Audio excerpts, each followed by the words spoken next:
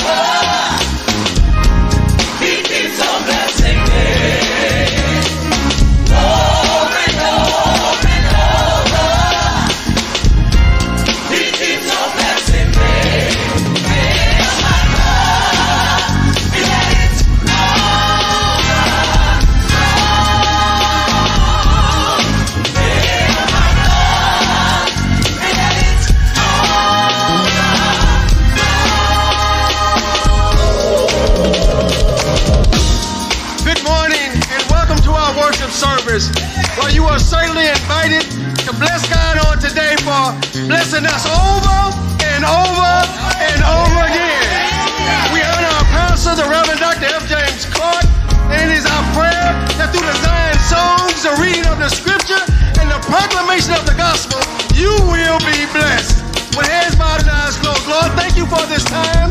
Thank you for this worship experience. In Jesus' name we pray. Amen and amen.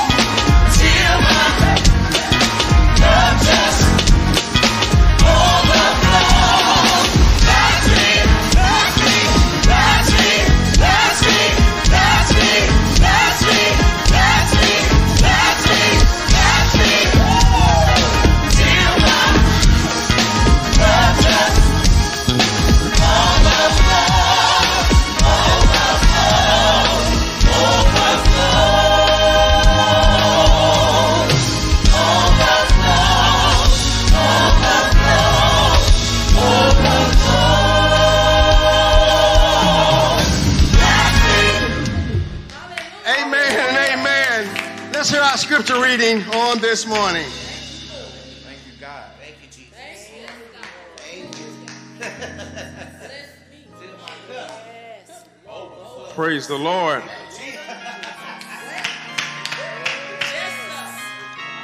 Thank God for his blessings on this morning. Our scripture reading comes from the Gospel of Matthew, chapter 14, verses 22 to 33. Again, that's the Gospel of Matthew, 14th chapter, verses 22 to 33.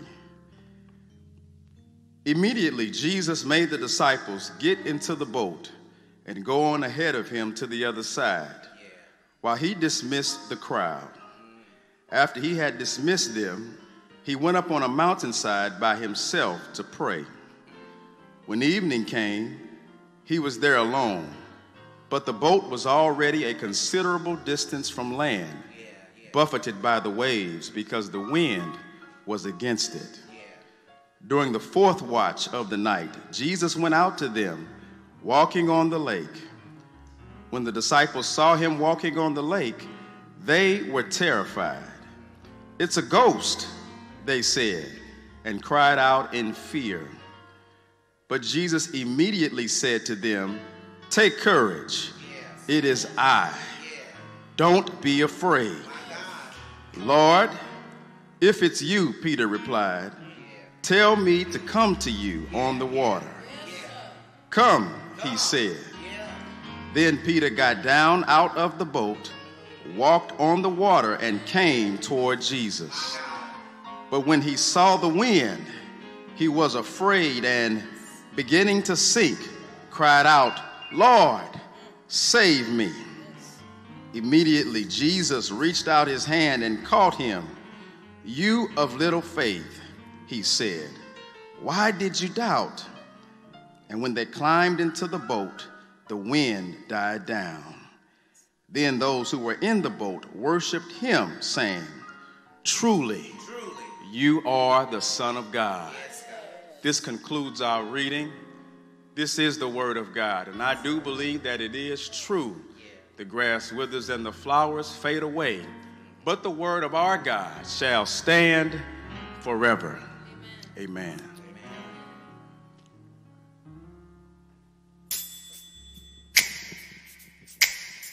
Good morning. Good morning. To join in with us as we sing our morning hymn, Blessed Assurance. If you know you're blessed, join with us in giving God some praise for all that He's done. Hallelujah. Bless the Lord.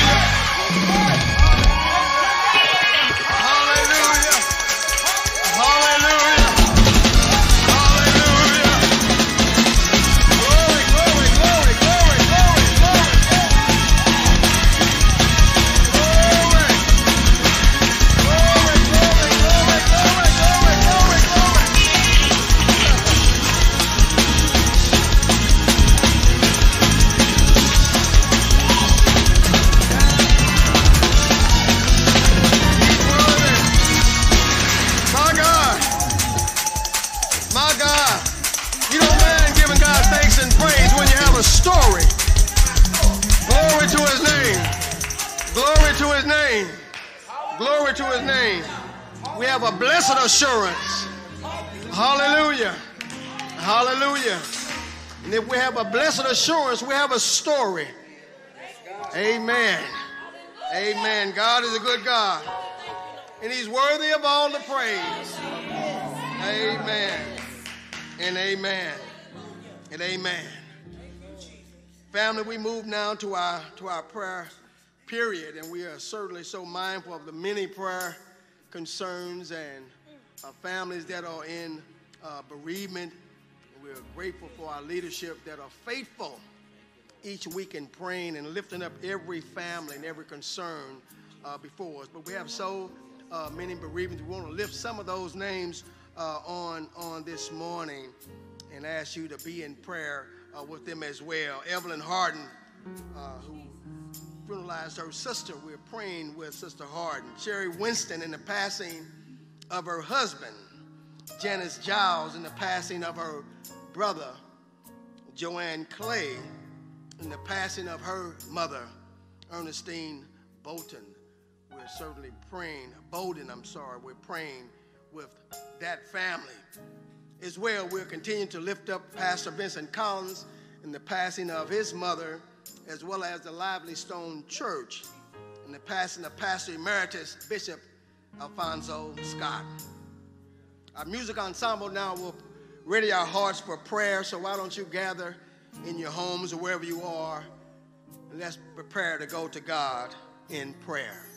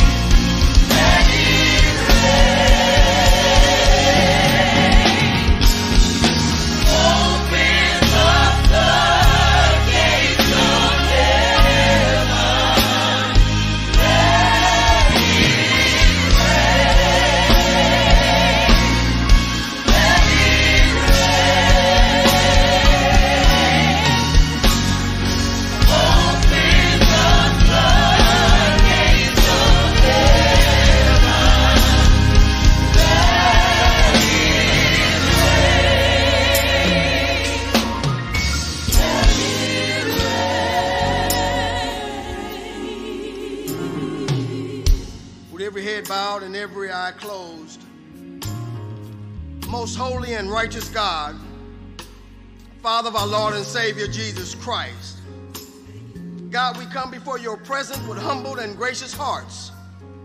God, we confess that we all fall short of your glory. We thank you, God, for your forgiveness, for your mercy, and for your grace. Thank you, God, for redemption through Jesus Christ. God, we ultimately know that despite all that is happening in, in our world, you are yet sovereign. And God, you are working everything out for our good. So, God, today we simply ask you to speak to our hearts and comfort every person and family everywhere who may be struggling through sickness or bereavement or even discouragement. Help us, God, in this season of uncertainty to focus our faith and deepen our trust in your steadfast love in your compassion and in your covering. But truly, God, we have a blessed insurance that you are working everything out on our behalf. God, we certainly pray that you will bless the preach word on today, that we may be strengthened, oh God. Dear Lord, we pray that you would bless in this your vessel, the Reverend Dr. F. James Clark. Bless him and keep him, he and his entire family. Then, God, there's so many other things that we could say, but you know the very meditations of our heart. So, God, allow the words of our mouth and the meditation of our heart be acceptable in your sight. You are our strength and our Redeemer. In the name of Jesus Christ, we pray. Amen. Amen. And amen.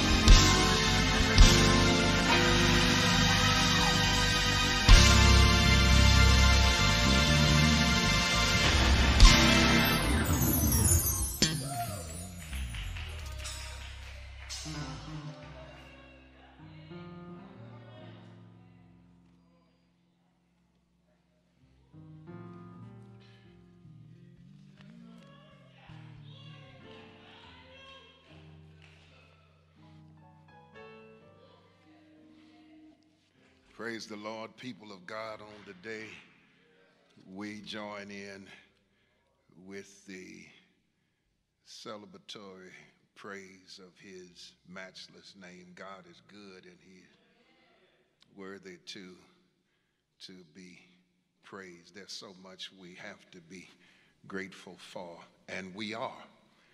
And we gather at this hour collectively to say thank you God, for all of your rich blessings. I'd like to invite your attention to the Gospel of John, chapter 6, verses 22 to 35 on this day. On the following day, when the people were standing on the other side of the sea, saw that there was no other boat there except that one which his disciples had entered, and that Jesus had not entered the boat with his disciples, but his disciples had gone away alone. However, other boats came from Tiberias near the place where they ate bread after the Lord had given thanks.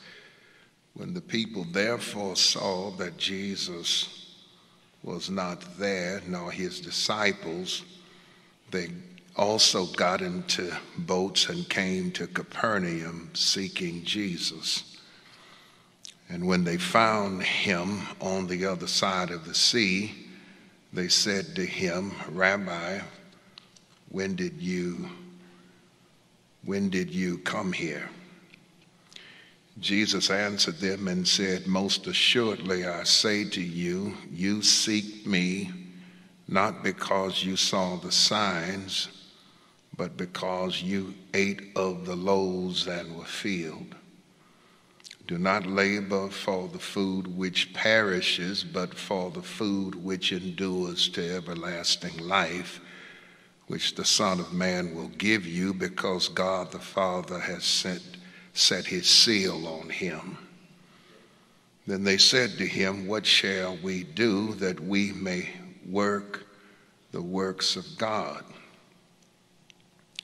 Jesus answered and said to them, This is the work of God that you believe in him whom he sent. Therefore they said to him, What sign will you perform then, that we may see it and believe you? What work will you do? Our fathers ate the manna in the desert as it is written. He gave them bread from heaven to eat. Then Jesus said to them, Most assuredly I say to you, Moses did not give you the bread from heaven, but my Father gives you the true bread from heaven. For the bread of God is he who comes down from heaven and gives life to the world. Then they said to him, Lord, give us this bread always. And Jesus said to them, I am the bread of life. He who comes to me shall never hunger and he who believes in me shall never thirst. This concludes our reading. This is the word of God. I believe it's true. The grass withers and the flower fades, but the word of our God shall stand forever. Solicit your prayers this morning. I like to lift as a theme to guide our preaching Jesus, the bread of life. Jesus, the bread of life. We did not know that the feeding of many, the 5,000, with limited resources was going to turn into a multi layered conversation that would bring us to the uncovering of the identity of Jesus. That Jesus met them and fed them, and that would have been the end of the story. But the people sought Jesus for more. That the feeding points far beyond the bread they ate, brothers and sisters. Jesus' words uh, focus attention on food as something more or other than that which satisfies physical hunger.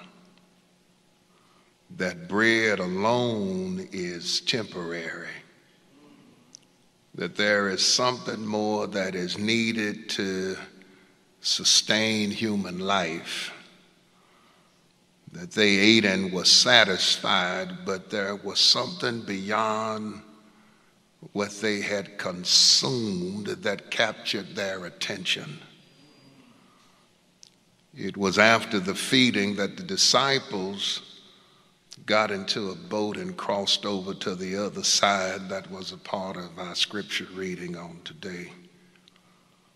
And Jesus, as you well know, did not go with them. Instead, he withdrew to a mountain by himself. And during the evening, while the disciples were crossing the sea, they encountered some difficulties and Jesus came walking to them on the water. And they were afraid until they understood and recognized that it was Jesus. People who knew that Jesus did not travel with the disciples were amazed when they caught up with the disciples to find that Jesus was there also. And they asked, Rabbi, when did you get here? That this question alone, with all of the other questions that is a part of this long discourse here in John, has more than a geographical concern. But, brothers and sisters, it has a lasting theological implication. When did you get here? When did the revealer of God come into the world? When did God send his son and position him on the world stage? And how is it that we have missed this profound revelation? And Jesus responded, He says, You are looking for me not because of the sign I performed, but because of the bread you eat. You see me as really a free grocery provider. Do not work for food that will spoil, he says, but for food that endures to eternal life, which the Son of Man will give you. He, he, he says, You seek me uh, for the food, for the bread that I gave. And I like to underline that did you you seek me because that's a good thing.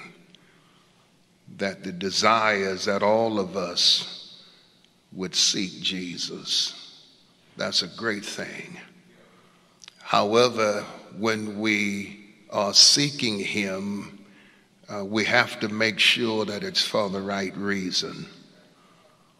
To seek Him only for what He can do for us is really the wrong reason for seeking Him.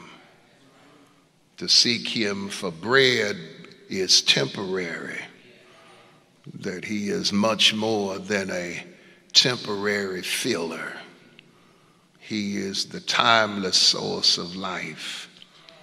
I would uh, say that again and hope that we would underline that, that, that he is more than a temporary filler. Jesus is. He is the timeless source of life.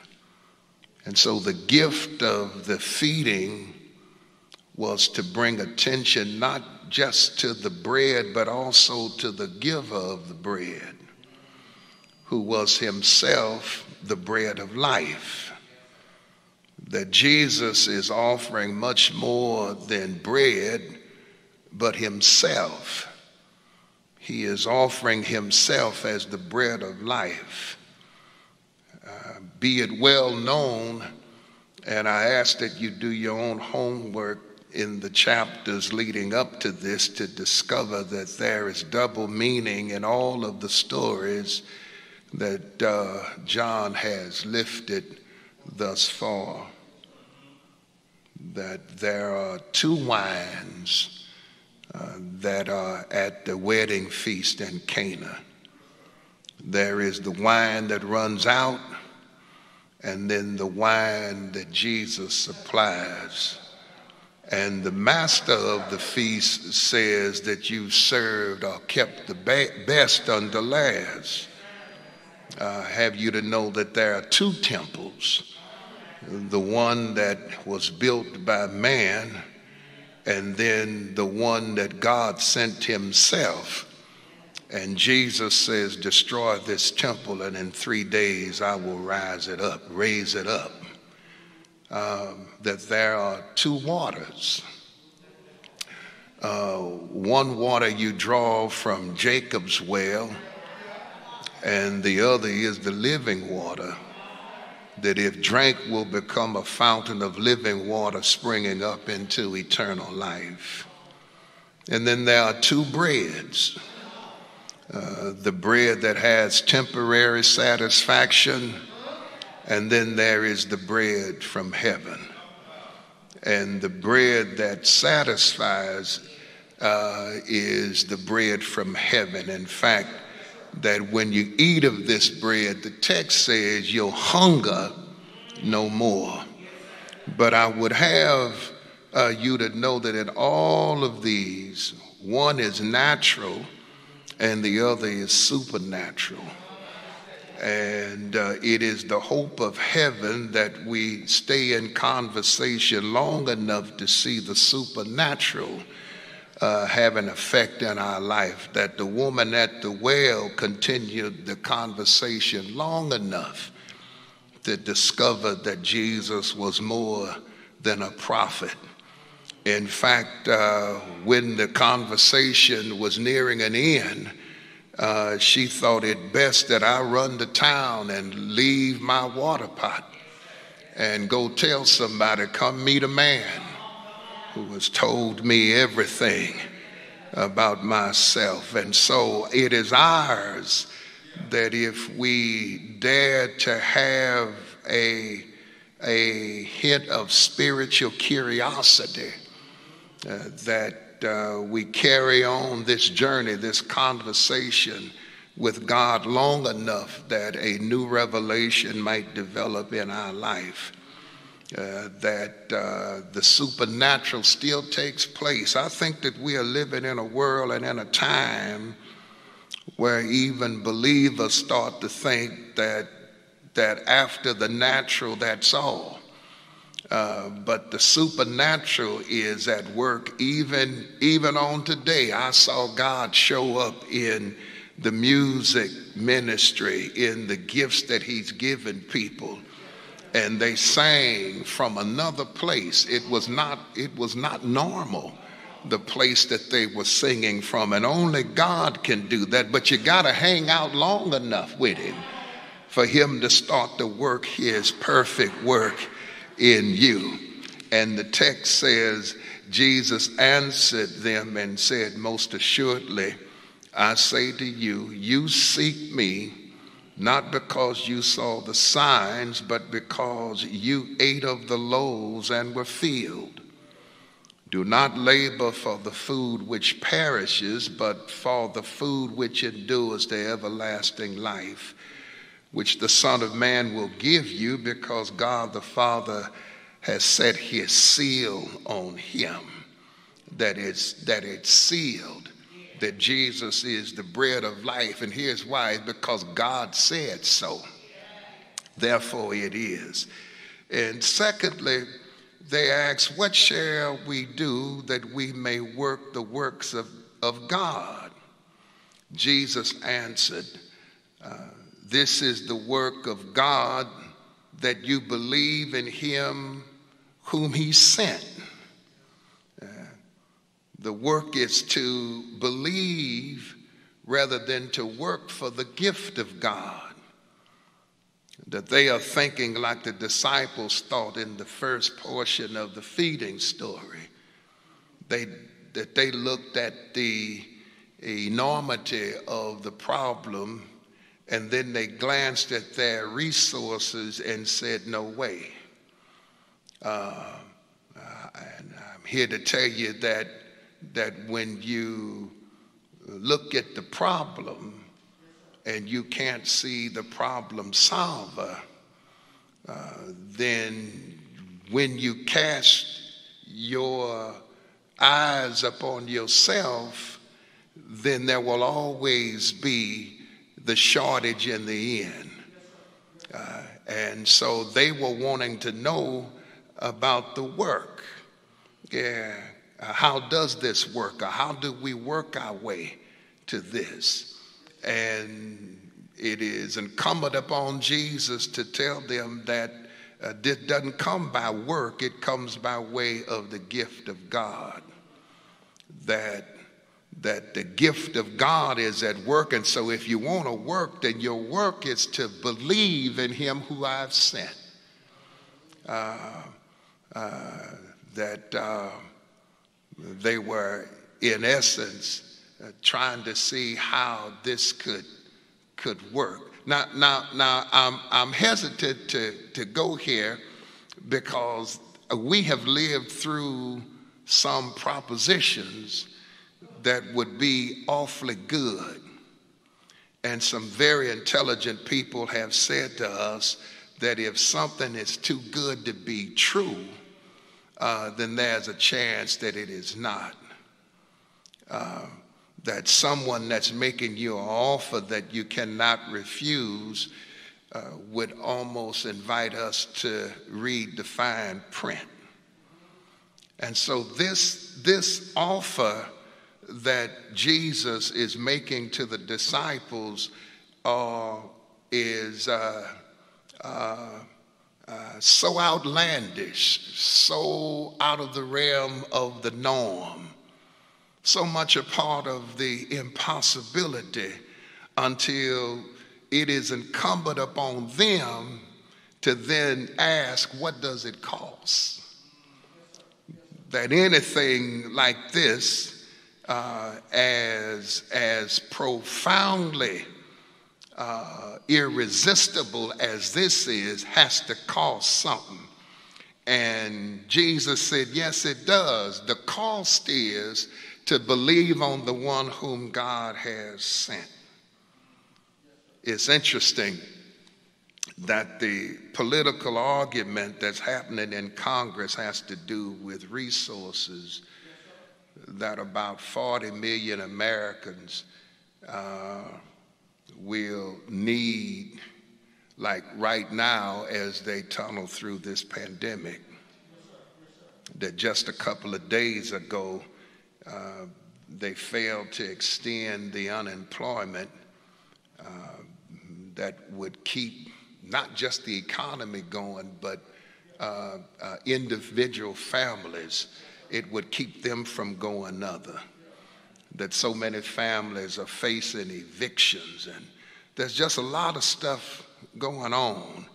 And so, and so the, the gift of the government would have been to continue uh, these resources to, extended to these families who can't help themselves right now. There's some who've argued in Congress that if you extend the unemployment, and it's more than what you're paying them, then they may opt to not go back to work. Personally, personally, I don't know anybody that doesn't want to work. I don't surround myself with people who don't want to make an honest living. Everybody that I know wants to make an honest living. And if $600 a week, if you think that's too much, uh, then perhaps you need to move out of that bubble that you've been living in because when you've got as many as many concerns as most families have, $600 a week can only go so far.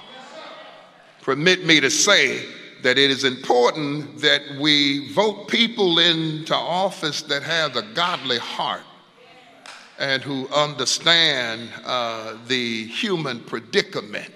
Not to say anything about the people that they denying access to or people who pay taxes.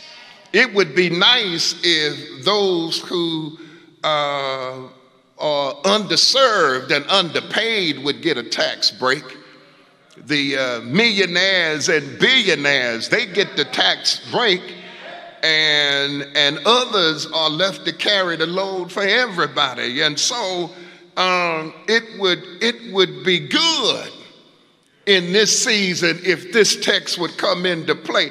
People who who know where their next everything is coming from won't appreciate a text like this. A text like this won't speak to them. If you if you can have your mortgage paid and you don't have to worry about that, this text doesn't mean much to you. If you know where your next meal is coming from, then this text doesn't mean much to you. That if you if you were born on third base with a with a silver or golden shovel in your mouth, then this text doesn't doesn't apply to you. Only only those who have a keen sense of needing and depending on God that had to trust God every step of the way. This story is meaningful. And so there have been so many things that have pressed our back against the wall. When we hear propositions such as just simply believe God, we want to find out if it's true. Because everything that we've tried to do and do right, something has always gotten in the way. And so I just want to make a sidetrack here and say it's important for us in November. I don't care what's happening, pandemic, we got to make our ways to the polls. That there there's been some interference going on even at the post office that they're trying to slow down the mail because uh, a lot of people intend to do mail in voting. I want to make a strong suggestion here this morning, and that is if at all possible, you can get to the polls without having to send in your ballot through the mail. Put on your mask and and uh, put on your winter robe, uh, uh, garb up, and get to the get to the polling place and cast your ballot, and do it that way. Uh, because when one door is locked, uh, there ought to be another way that you can get in. And if they block the door, we'll come through the window. If they block the window, we'll come through the roof. But we will not be denied because we've seen this evil at work. I'm trying not to go too far here, but there's something to be said about persons who just in your face would try to destroy the order that we've had along the way. And so I'll say it again that persons who have it all together and persons who have food in the box, and persons who were born into resources may not appreciate this text. And I doubt if this text is even preached in places that have resources because it won't make the appropriate connection. But there are those persons who who don't have anything left but to trust God. Hallelujah. And Jesus says that the work you ought to do is simply to believe. And I think this is the season when that's all we have because everything else has been stripped from us. And the only thing that we've got to hold on to is a belief in God that he is God's, Jesus is God's gift to us. And when that's all you got, you hold on to it and you believe in everything that he says. Hallelujah. I'll be honest with you on today that uh, I wish I did have a whole lot I could leave uh, to other people, just write checks, and I don't have it like that. But what I can give you is the assurance that somehow, some way, God will always work it out. There's some kind of way God will always come through. Yeah, I heard grandma and them say that he may not come when you want him, but he's always on time. I wish I had somebody that knew what I was talking about. That somehow, some way, the Lord always makes a way. Somehow, I don't even know who I'm talking to, but there's somebody that's listening to me that you've been trusting Him every step of the way because that's all you have. Hallelujah. When, when your job is threatening to dismiss you and you don't know where your next anything is coming from, you can rest assured that God knows and God has your back. Hallelujah. So they also, I got to hurry up and get out of your way. But they also say uh, that they need a sign. What sign will you show us that we might believe? Uh, what work will you do? Is what they say. That our father ate the manna in the desert, as it is written, and he gave them bread from heaven to eat. Then Jesus said to them, Most assuredly I say to you, Moses did not give you the bread from heaven, but my Father gives you the true bread from heaven. For the bread of God is he who comes down from heaven and gives life to the world. Yeah, that they wanted a sign, brothers and sisters. They wanted God to do what God had done and continues to do in their presence. That, that what God uh, has done, He continues to do for you and I. Yeah, that they couldn't believe because it did not fit, fit their category of imagination. That they couldn't see how God was going to work it out. Uh, please hear me, brothers and sisters, because I know that I'm talking to somebody and you're stressing in these days of uh, uh, pure anxiety. You're stressing. Your, your back is against the wall. You, you fighting uh, depression along with everything else because it appears that everything is caving in on you at the same time. But I want you to know that uh, without even knowing how he does it, but our God is able. Our God is able. And you've got to fit that into the categories of your imagination, knowing that somehow that our God is able. That, that we can't preclude that, that God is finished because of uh, it not looking like it's taking place in our life. But they lift up Moses as an example. They bring up a scripture reference uh, before Jesus about what God had done. They bring up Moses, and if and if God had uh, uh, fed the children, their ancestors through Moses, they wonder if he could do it again. Well, I want you to look at I want you to look at how that lines up that uh, they bring up Moses. Now, now, the reason they're able to bring up Moses is because God freed the children from the oppressive hand of a Pharaoh. And when he when he freed them, he brought them across the Red Sea. Uh, in the dry land.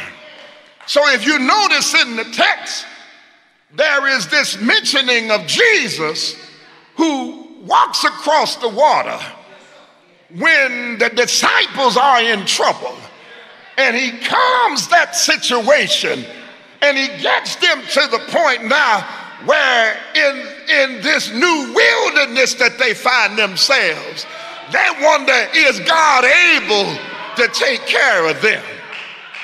And I'm here to tell you that if he did it for Israel, and if he worked through Moses, God says, I got one better for you. I'm not going, I'm not going to give you the bread. I'm bringing it myself. Then I'm going to wrap myself up in flesh. And I'm to tabernacle with you. And so what you're looking for, you're really looking at. Because the sign you seek, I am he. I am the bread of life. If you want to know if I know how to make a way out of no way, you need to just look at me. You see, I'm almost done here, but when I was younger, I, would, I remember uh, I remember being upset at the packaged gift that I received that it didn't look like all the others. And I remember being hesitant about opening it uh, because I didn't want to further my disappointment. I was looking at my little gift and looking at others whose gift seemed to have been more. And I, I, I was wishing that somebody else had pulled my name. And then I opened it. And when I opened it, it was more than I could ask for. That, that brothers and sisters, the package uh, did not look like what was reflected on the inside. In fact, the gift had lasting value because of what was on the inside. Yeah, I submit to you this morning that uh, there's a whole lot of people who have a problem believing because of the package that Jesus is wrapped in. That God wrapped him up in this normal package. It would have been different if God had a, put some bells and whistles on him. But God didn't put bells and whistles on him. God, God just gave him the normal. And if you hung out with him, and you opened the package, one revelation would lead to another, and then you would discover that this is God's great I am. And in the text, he says, I am the bread of life. And if you're hungry, fellowship with me, and you'll never hunger, nor will you thirst again. That the sign that they were looking for was right in front of them. He's the true bread that came from heaven. He's the bread of life. That Jesus is what you call essential. Yeah, that the basic diet of most people have some bread in it. Yeah, white bread and brown bread, flat bread, rye bread, caressing bread yeah, bread, bread. There's some bread in it. Yeah, and, and so don't be surprised in the first century when others heard Jesus talk about that daily bread, they knew exactly what he was talking about. And so when we pray, we always ask, Lord, give us this day our daily, our daily bread. That is, Lord, meet our needs because you and you alone know what our needs are. Hallelujah. And so listen, when you when you when you sit down to eat again, make sure that you take a moment and you bless that bread. Yeah, you bless the food that the Lord has given you. That there's so many people who who uh, don't have anything to eat, but they have an appetite. And then here we are. We, we, we have an appetite, but sometimes we don't know where our bread coming from. But on today, you can thank God for both appetite and bread. You can thank Him that He's met every need. And even if you don't see it coming, don't let that stop you. Go on and set the table. Yeah, because you already anticipate, even though you can't see it, you already anticipate that God is going to make a way somehow. I leave you now. I leave you now, but but this bread of life is the best thing that ever happened to us. Yes, it is. Yes, it is. You can hear him saying that take, eat. This is my body, broken, broken for you. This is my shed blood for the remission of sin. Yeah, that that he who God sent uh, to be our company keeper, our bridge over troubled waters. Yeah, our way out of no way. He who God sent went all the way to the cross. Yes, he did. I got to go there. He went all the way to the cross, bowed his head, and he died. Every, every Christian in the world, yeah, oh, wants to join in when we say he died. Yes, he did. He bowed his head and he died. He hung his head in the locks of his shoulder and he died. And they took him down and put him in a borrowed tomb. Didn't he do it? But early on the third day morning, he got up with all power, heaven and earth in his hand. I wish I had strength to really preach this word today. But while I am weak, the Lord is strong. And so, Lord, I'm counting on you to take your word uh-huh, and let it penetrate through these cameras and be a blessing to somebody. I'm glad that He woke us up this morning and He started us on our way. He gave us health and strength. Is it anybody here know my Jesus? Have you tried him? If you tried him, you gotta know he's all right.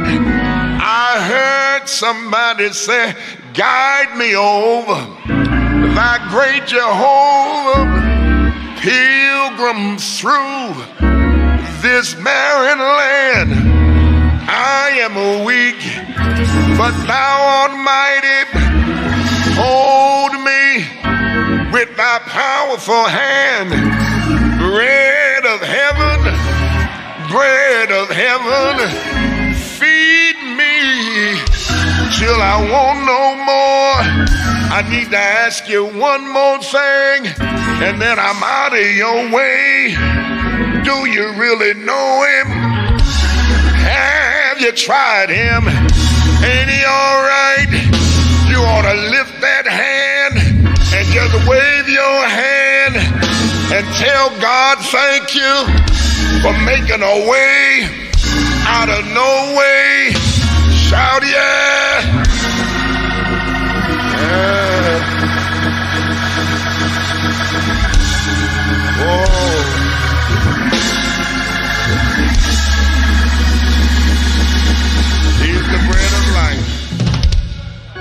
He's the bread of life. He is the bread of life while heads are bowed and eyes are closed, eternal and everlasting God. We love you so much for how you keep on blessing us.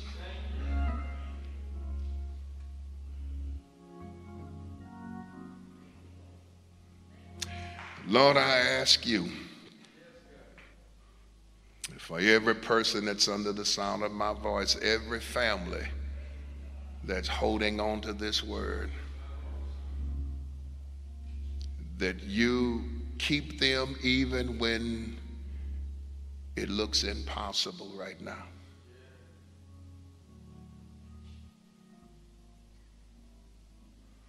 I don't even know how this word is going to register, God, but you already know.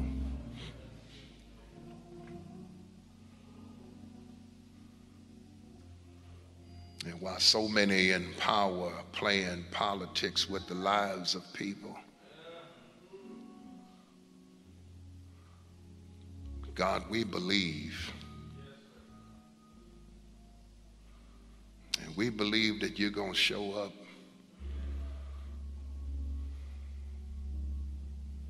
Single mothers looking to see how they take care of their families.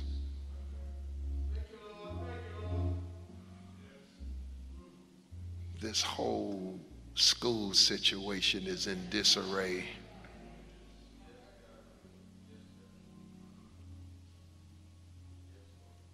Our leaders are saying that there's no disease, and yet deaths are happening by the thousands every day.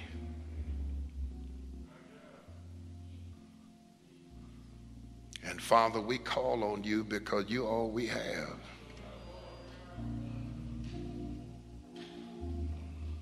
We don't sit in the boardroom. We don't have bank account.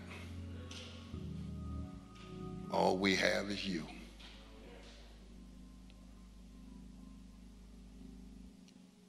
And Father, I pray you bless your word because I was trying to convey what you gave to me. And that is we we place our hope, our belief, our trust in you.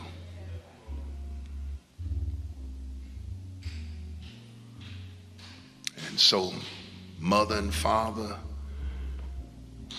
leader of the households, we ask God to cover our children.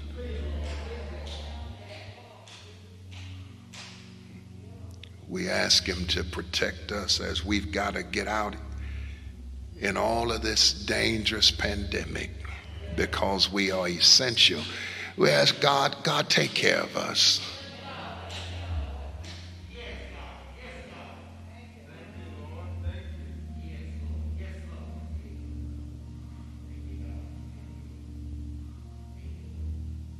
Father, we confess that so often this moment has been used by so many to promote themselves.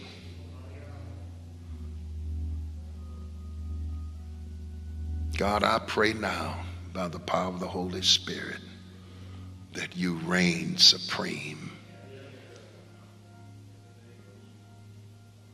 And that the words of my mouth and the meditation of my heart be acceptable in your sight. For that person that whose head is bowed that don't know you. I pray the Holy Spirit would usher them into a relationship with you.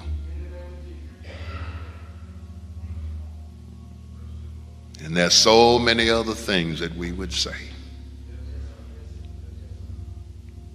But Father, we cast our cares on you because we know you care for us. In Jesus' name we pray.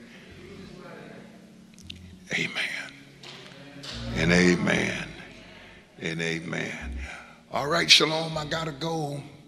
Now unto him who's able to keep you from falling and present you faultless before his presence with exceeding joy. The only wise God our Father, be glory, dominion, majesty, now and forever.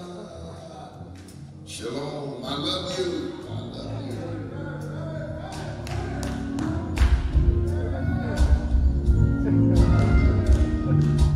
Good morning, Shalom. This is Deacon Frank Foster. Hope you're doing well and praying for the health and safety of you, family, and friends in these unique times. If you're like me and my family in quarantine and we like to cook, there's a little bit more around my waist than the last time we got together, but God is still good all the time. I'm here with a couple of reminders. As though we are socially distanced, we still need to stay spiritually connected. First is to continue to be faithful in our tithes and offerings. Our church ministries and community outreach and support are supported by your tithes and offerings as our single source of support. But not only that, God wants you to experience the complete fullness of his blessings, and we do that through our tithes and offerings. He says, The earth is the Lord's and the fullness thereof. That means everything we have comes from and belongs to God. We're just simply stewards of it.